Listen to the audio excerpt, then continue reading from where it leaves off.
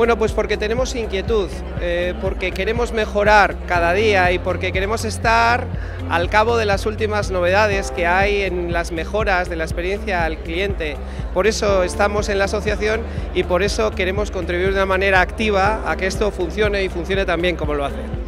Es una iniciativa dirigida a aumentar el compromiso de nuestros empleados con la estrategia de atención al cliente de la compañía. Bueno, Eroski por el hecho de ser cooperativa eh, hace que todos sus socios se impliquen de una manera espontánea en la atención al cliente.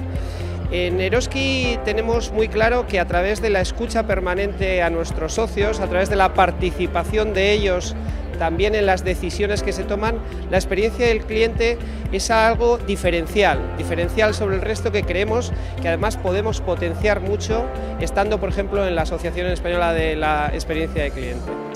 El papel fundamental, somos una empresa de servicios del sector sanitario y andamos persiguiendo la excelencia en la atención tanto a nuestros clientes como a nuestros pacientes. Y los empleados son el vínculo entre la compañía, los usuarios y los pacientes. Por lo tanto, de ellos depende fundamentalmente la imagen de la compañía y que participen activamente de la estrategia de la casa es uno de nuestros objetivos con este proyecto.